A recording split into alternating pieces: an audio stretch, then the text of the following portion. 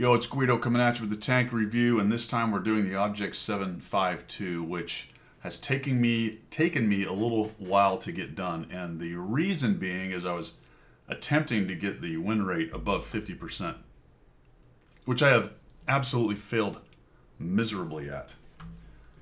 Where are we? Let's see. 41%, my friends. 34 battles, 41%, a mere 860 experience a game. Surviving 41% of the battles, 79% hits. I guess we're going right into the stats. 1.38 damage, destruction 2.25, armor use 0.69.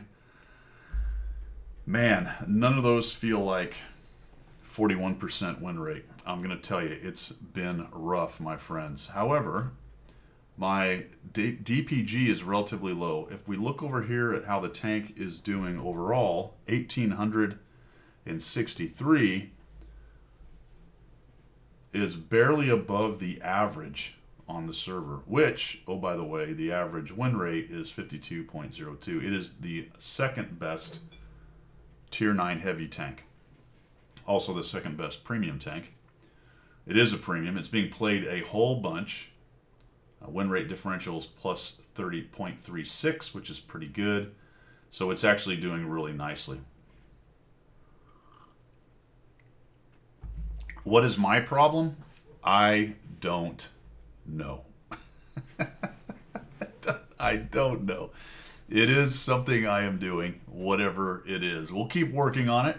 I have some ideas. We'll see how it goes. But here's the tank and it is a uh, it's a tough little bugger. It's small for a pre or for a heavy tank. It, it really is a medium-sized tank. Has an autoloader, three shells, relatively front-loaded, but you know it's almost mid, sort of front turret on it. There are four crew members in it. You can see my crew right there. The commander is the commander and the radio operator, and you have a gunner, driver, and loader. Remember, it is a auto loader type tank with three shells. 390 alpha. If we go down here you'll see that the standard pen is 240 which is pretty good. And you get 310 out of the apcr which can be a little anemic at times when you're dealing with the really heavily armored tier 9 and tier 10 stuff. But it's not heat which is nice because heat has its own problems so you, you give up a little bit of the pen but you don't have to deal with the heat right there. My setup i have two of them right now. This is my queue for 100 battle challenge. We'll see how we how we go after 100 battles, but I'm running a vert stab and IA, and I'm actually running this mobility improvement system because this is about as good as any of the turbos, plus it gives you some bonuses to dispersion while movement and things like that. I do have a secondary setup, so this is more of a longer range sniping type speed and a little bit more accurate on the gun. This is going to allow me to, on the more open maps, hopefully be a little more competitive. If we go to the second setup, we are running hardening, vert, stab, and vents. You will notice that, and this is for more close-in stuff, you will notice that there is no rammer, right? It's an auto loader, so there's no ability to put the rammer. Back to the crew real quick. I am running Brothers in Arms. I do have three skills working on the fourth one, and I am running food large kits, a pure APCR loadout other than 3 HE. It does have 30 shells. That's a little bit light on shells. I haven't really run into a problem with that though. But if you're doing a lot of sniping, uh, you might come closer. You might have an issue with running out of shells or very long games or a combination of the two. Realize though that the relatively long reload on this thing, for mine, the way it's set up, 29 seconds. We'll switch over to this and see how much that changes. 30 seconds or so because of the 30 second reload and the relatively fast games, you won't run into a problem with the ammo very often, but it could happen. So that's my setup, my crew. This gives me 30 second total reload, 3.2 between shells with three shells at 390 alpha. Minus 8 gun depression, which is actually pretty good. Aiming time 3.17. Dispersion for my setup at 0.34. DPM very low at 1901, even with all the bonuses in here, food and everything else. That is one thing that this tank does suffer a little bit, despite having 390 alpha, which is nice, and a decent burst in 9 seconds or so, 9 to 10 seconds, you can put out almost 1200 damage. However, you're now eating a 30 second reload. Remember, it's an auto loader, not an auto reloader. So it will take the entire 30 seconds before you're back into the fight. Survivability is where this thing starts to shine a little bit. We got 195 on the hull, which is very tough. 330 on the turret. You can see the hull is angled, not a, not quite as angled as many of the Soviet tanks, but very thick. 330 on the turret's pretty amazing. Howsoever, look at these hatches. We'll take a look at that with the uh, armor look see, but yeah, that those things will collect uh, more shots than your mom on Friday at the bar. All right, fellas. That was a little bit mean, but also this tank has me feeling that way, if I'm honest. Mobility is pretty good at 40, 17 reverse. I am running field mods. We'll talk about those in just a second. So decent mobility, camo almost non-existent, 441 view range. I don't have anything helping me out with the view, so I'm not quite maxed out on that. If we go over to the field mods, I am running the lightweight suspension, which is helping with traverse and a little bit negative on the crossing all terrain types. I have the parallax adjustment, which is minus 3 to aiming size, plus 5 to aiming speed. I am running the periscope electric drive, which is giving me the extra view range. That's really the only reason I'm even close to max. And we have the power output tuning, giving me 2 kilometers more backwards, which is nice, but I'm minus 10 turret traverse and gun traverse. It has a decent turret and gun traverse. We'll look at that in just a second. Minus 10% doesn't hurt it a whole bunch. Let's take a look at a comparison. And I would say, usually I say amongst its peers, but it doesn't really have any. There isn't any, there aren't any other Tier 9 autoloader premiums. However, there is the T54E1 autoloader, and we put it up against the Concept B, which is actually uh, number one. Concept 1B, which is number one on the hit list for Tier 9 heavies. So 390 damage is right in there. Penetration is a little bit lower than those other fellers 32 seconds to get three shells in the 752 34 seconds to get four shells with the 54E1 plus a little bit no actually still 390 never mind.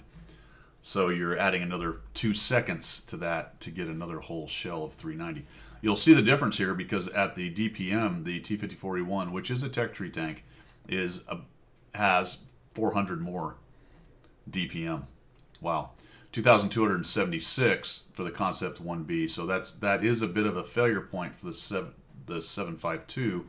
Yes, the burst is nice. Yes, it's a tough tank, but it does take a while to get the damage down range.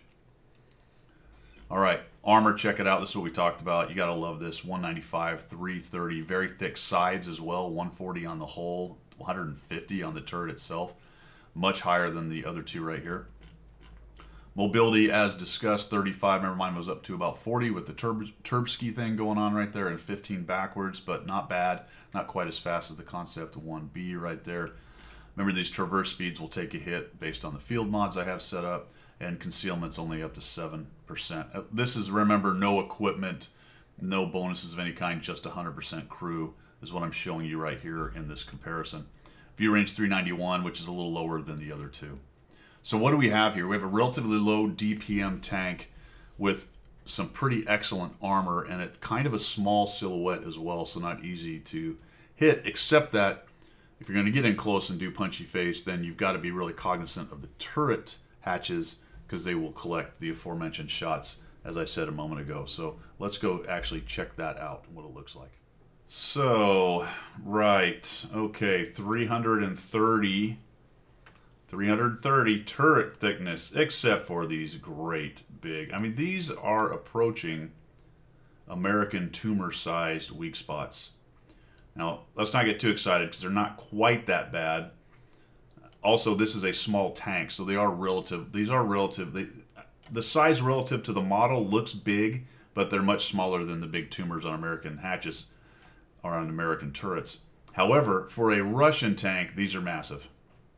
So you're going to need to be doing some moving and shaking of the turret a little bit. Any kind of right to left movement you can make. But I'm telling you what, I don't, mm, yeah, these are just going to get peppered, guys. They really are. And then look at this. This is this is a really tough front end right here. It takes a lot to go through this thing. If you're looking down, yeah, that's better.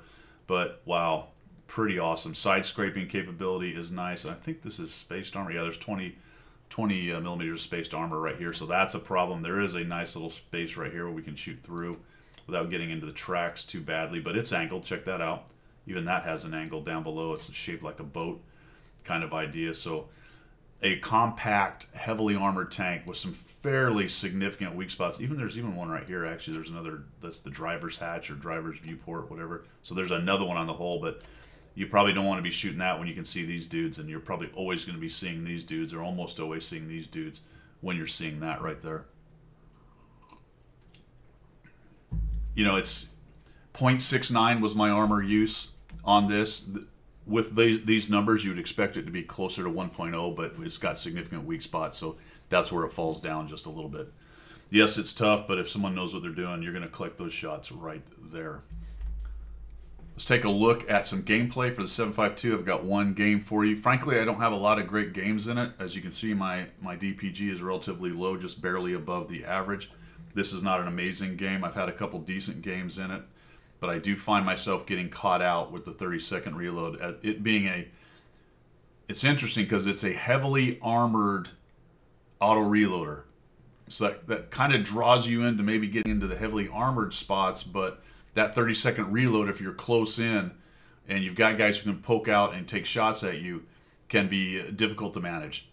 Probably part of my problem. So let's take a look at some gameplay. For the sample gameplay, we're here on Himmel's Karelia Dorf.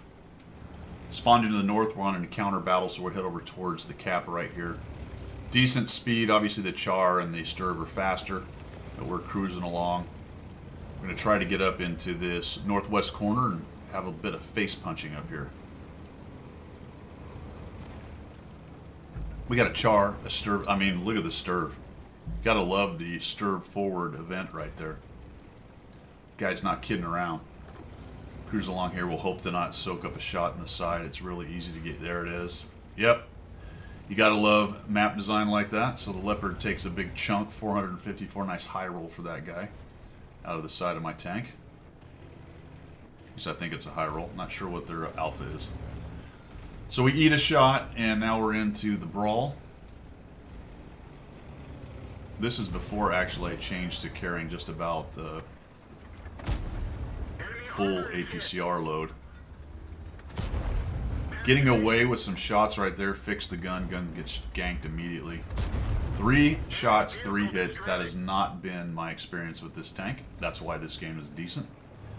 And I'm showing it to you because even though I didn't zoom in all the way, I got all those hits. Probably should have let those zoom, but of course, the longer you sit there, the longer you're exposed, and maybe I collect some more shots back. So it's always a trade-off with how you're exposing your tank to get shots. There's the long, while I babble, all right, 30 seconds to get back into the fight, right? These guys are all up there shooting back and forth, and I'm just waiting, waiting, waiting. Now I've got a nice burst potential, right? I can help clean guys up, put the hurting on people, so we'll come on in here, see if we can hit this guy. No, yeah. All right, so yes, I'm sniping the Tortoise, okay, fully zoomed to hit where I was aiming. Not this tank's strength, to be honest with you. And there you go. So I got one out of two. Down goes the tortoise. And I'm on a reload. So that was the shot that was presented, right? I had a pretty strong Chieftain P turret. I'm probably never going to pin anything on the Minotauro on its turret. The tortoise is just sitting there. He's not even jiggling. So I'm going to take that opportunity to see what I can do about putting shots in the weak spot. That's the shot I had, and that's kind of one of the things about a tank like this with relatively crummy accuracy and a three shot autoloader, I spent three shots trying to hurt the tortoise and only got one out of three. Picking your shots is really important with a tank like this, and sometimes you're not given great opportunities. I see the char coming in. I'm still on a reload. I'm really hoping I can bounce one of these shots. See if we put an angle on him. Nope, he's pinned me twice now. Sure. There we go. Can we get one? Hey, we bounced one. Good. Can we bounce another one? That's three shots. Good, great. We bounced two out of four. I'll take that. I'll take that. He's zinging around. I should out-reload this guy. I'm hoping the Sturv can come in and give me some help. We also have a Leopard pushing around. Char is just driving around behind us. Sturv turns around, decides to take out the Leopard.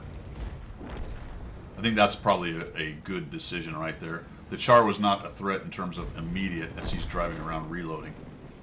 So he kills the thin-skinned leopard. I'm wondering if the Char is going to come at me right here. Minus 8 gun depression, so we can work spots like this. Tried to track him, didn't happen. Great. Auto aim. No, okay, so, guys, see see how the uh, server reticle is lagging? How the reticle is lagging behind this guy? All right, so I'm actually aiming right there. So if you have right a lot of right to left or left to right, uh, it's better to aim manually than try to auto aim them or wait till they start going something like that where they're kind of straight away. So I, I blow that whole thing in terms of auto aiming. Try to ram this guy. I, am not sure if he's out of shells. He might have one. Yeah, he does have one left. Look at that. He just, whatever. He doesn't care. Just penning me. Look at that. Right through there. I don't know. Where's the armor? Well, actually, we're not bad off, guys. We're 2,360 bounce, even though we're down to 147 hit points. So we didn't bounce everything coming our way, but we bounced a significant amount. I'm wondering if he's trying to get around the side. I'm not sure if he actually has a shell or not. Looks like he does not, otherwise it might have... yeah, he does not, so he's trying to reload. I thought at the time, because I hadn't counted his shells, that he was maybe trying to get around the side for his last shell to be sure that he could take me out but it looks like he had fired all four of his. I bet if I go back, I'd be able to see it all.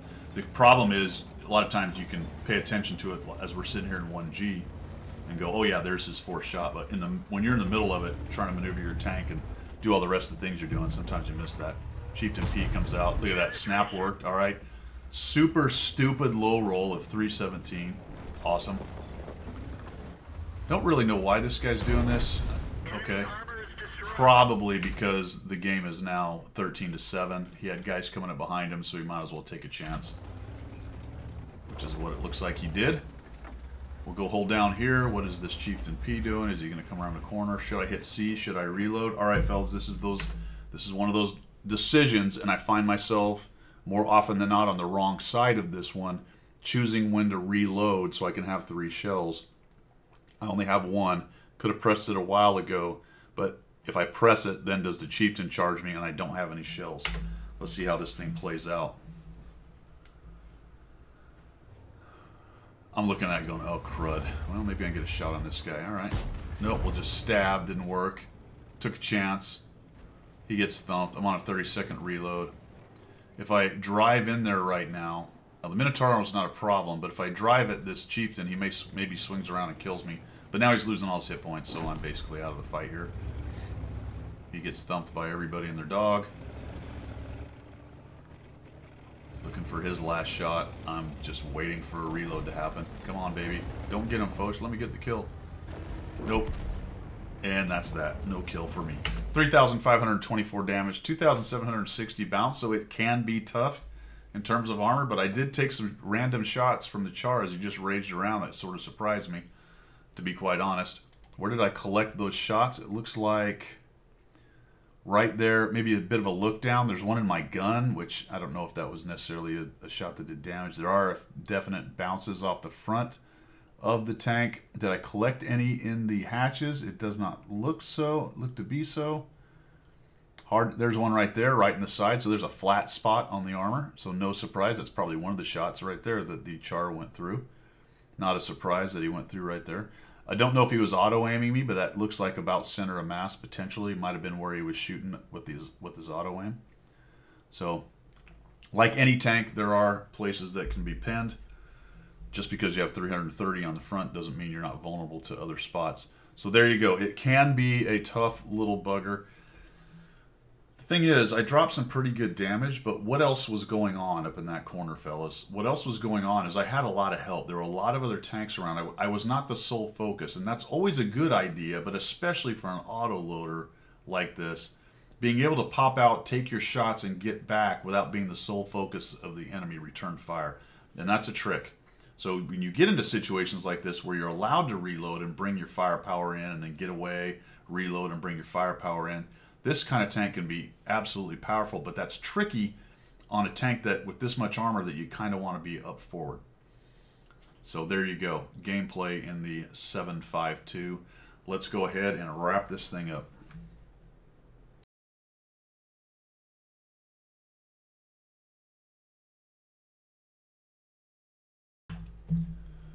Well, what's my opinion of the Object 752? It's clearly a pretty good tank. It's doing well. We'll see where it shakes out over time, but it already sits in the second spot, so I think we may have finally seen a tier 9 premium tank. Remember, this is a tier 9 premium. If you go in here and click the research button, you can find out what the bonuses are, and you will see that it actually does make credits.